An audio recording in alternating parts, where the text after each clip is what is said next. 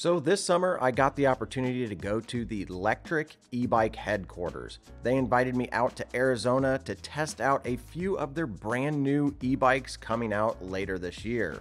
And one that I can show you guys right off the bat is the brand new Lectric XPedition 2.0. This is an awesome cargo bike and it's the second edition of their XPedition cargo bike line. And I've got to say, this bike is pretty impressive. But what's also impressive is their headquarters. This is a brand that was started in the United States by two young entrepreneurs, and let me tell you, they have become one of the top, if not the top selling e bike brand in the United States. And a lot of that has to do with the price point and the quality that they put into their bikes. They were one of the first ones to sell a Class 3 e bike under $900. Now, the XPedition costs quite a bit more, but it's still a bargain whenever it comes to e-bikes. Let's head out on an adventure and take these bikes out for a spin. I've got a few tests that I want to try out on these bikes to see how they actually work in comparison to the cargo bikes that I currently ride. The main test that I have for this is does it have speed wobble at all? Whether that's below 20 miles an hour or above 20 miles an hour. And then also, will it get over 25 miles an hour? That's a big test. I currently ride the Aventon Abound and I love that cargo bike, but there are some inherent problems that I'm hoping that Aventon addresses. And honestly, I'm really hoping that this expedition has already solved. Number one is the speed wobble. If there's any speed wobble on this bike, I'm gonna be pretty disappointed. And also, getting over 25 miles an hour is a pretty important thing. These days, if you're gonna promote a class 3 e-bike, it better get upwards of 25 to 28 miles an hour. The first test was definitely to be the speed wobble test, and I tested this right out of the gate and took my hands off the handlebars, and sure enough, there's zero speed wobble. I tested this throughout the day, got it over 25 miles an hour, which was another test, and I was able to take my hands off the handlebars. So it met both of my criteria of being able to go fast and not have any speed wobble. And talking with the engineers about this, they said that they actually met and exceeded a German standard for cargo bikes. I don't know exactly what that standard is and what the qualifications are, but seeing the quality and feel of this e-bike and how it had zero speed wobble at high speeds, I definitely believe they exceeded some standard. And if it's that German one, you know what? I am on board for it having a fully stable cargo bike where you're going to have either groceries on the back or you're going to have even more important cargo, your kids, is very, very important. This does have a thumb throttle and it's really responsive. It'll get you upwards of 20 miles an hour. It's got a nice, smooth acceleration but one of the bigger things on this bike is the owner of Lectric bikes has always been really big into having cadence sensors. He does not like torque sensors. And I can understand that because I've ridden brands where the torque sensors just aren't responsive enough for the type of bike that you're riding.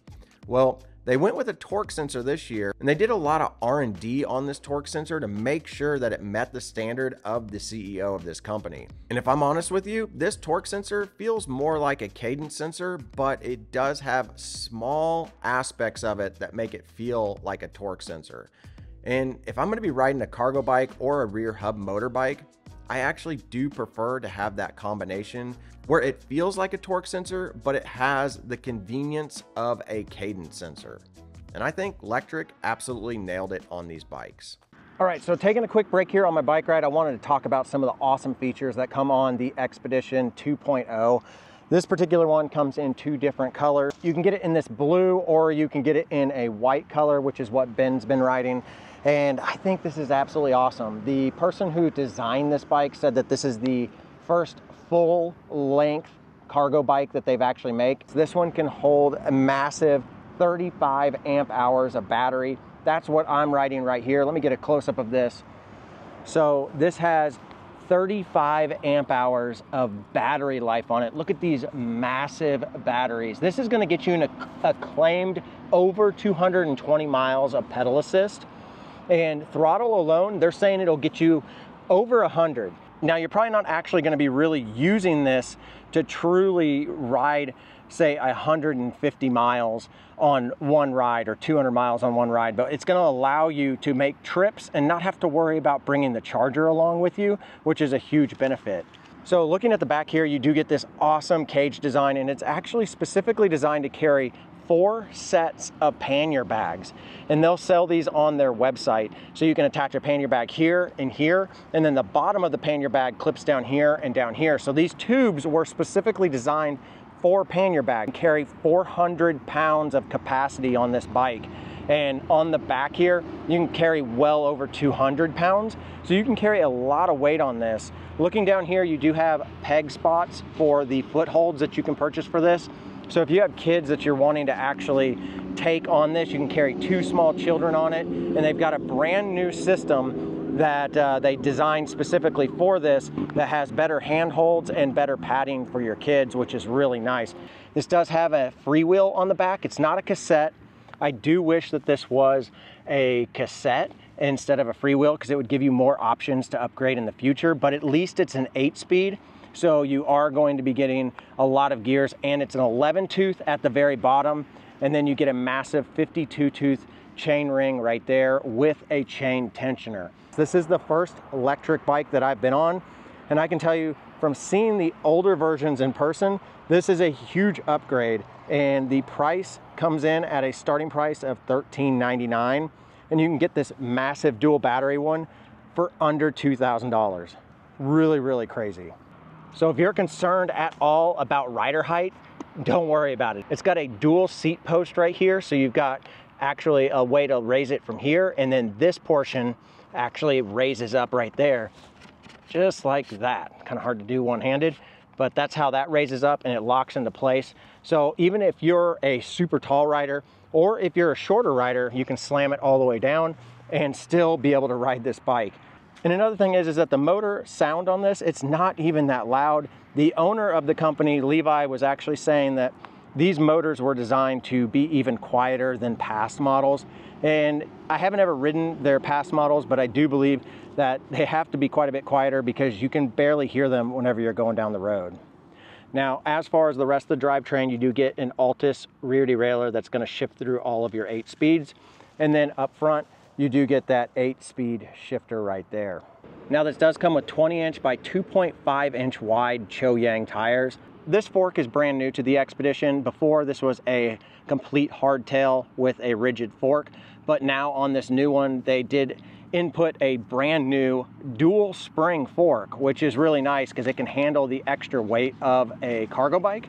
And it does have a dual preload. So on each side over here, you're gonna get a preload that you can adjust to get the exact ride that you want out of this uh, fork. And it does have a through axle and that through axle does have a quick release, so it's completely toolless. One of the big upgrades that they had is this kickstand. This is a new kickstand that's supposed to be extra sturdy. It's taken a little bit to learn how to really use it, but I do think that this is gonna be a big, big upgrade. And then Lectric has these removable pedals, which are unique to them. I've never actually used them, but that's how they pop out. So you can take these in with you if you're going into the store or whatever, and somebody can't just pedal away with your bike. As I said earlier in this video, this is my very first experience with Lectric branded e-bikes, and overall, I was very surprised at the quality. They should be selling for a lot more. This was a very solid bike that is extremely capable. And some of the upgrades that they did with this 2.0 version are actually kind of mind blowing at the price point they come in at. The fact that you can get this bike starting around $1,400 and then going only up to $2,000 for a massive 35 amp hour battery setup is kind of unreal. There are so many other features that I didn't hit on during this video that you're definitely going to want to jump over to the Lectric website and check this out. If you guys have been in the market at all for an e-cargo bike, I would highly recommend Lectric's XPedition 2.0. In fact, I'm gonna label this my number one cargo bike pick for 2024, and I'm gonna be surprised if anybody can beat it in 2025. All right, guys, if you enjoyed this video, I would appreciate it if you hit that subscribe button. It's completely free. And also hit that like button, helps me out in the algorithm. And if you guys want to pick up an XPedition 2.0 or any other Lectric bike, I would really appreciate it if you used my links below. That lets Lectric know that you're coming from my video and it does help out this channel at no additional cost to you. And of course, leave me a comment below. Let me know what you think of this bike compared to other e-cargo bikes. All right, guys, get out there and ride your bike.